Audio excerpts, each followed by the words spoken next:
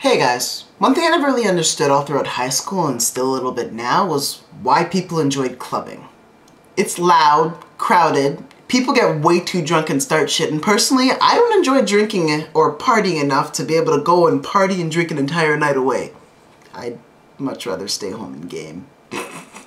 then one day, Ricky asked me if I wanted to go to a fun club called Footprints with him. I said yes, but I was uncomfortable as hell thinking about having to be around so many people in such close proximity with the possibility of having to listen to terrible music for hours and hours and hours on end. But it ended up being one of the dopest times I've had going out because the music playing was like this instead of this. It also wasn't too crowded and there was actually enough space to dance instead of going like this. Yeah!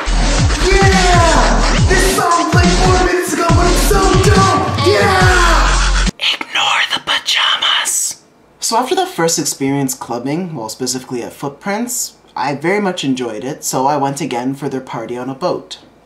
Which was even more dope!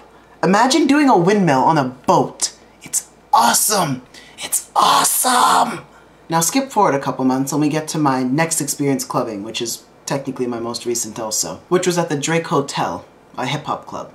Or I think it is. I don't know if it's actually a hotel either. Yet again I went thinking, you know what?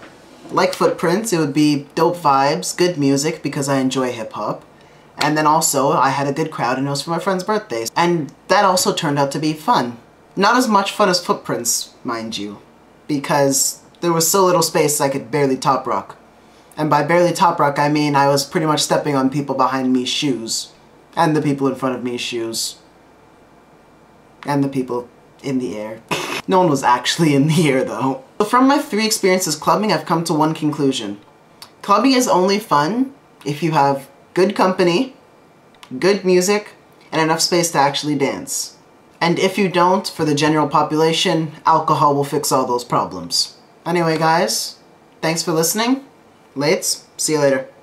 Thanks for watching this video guys. If you want to check out visual assault stuff, look there, in that direction. And if you want to check out the vlogs, ugh, check there, right there. Anyways, bye again.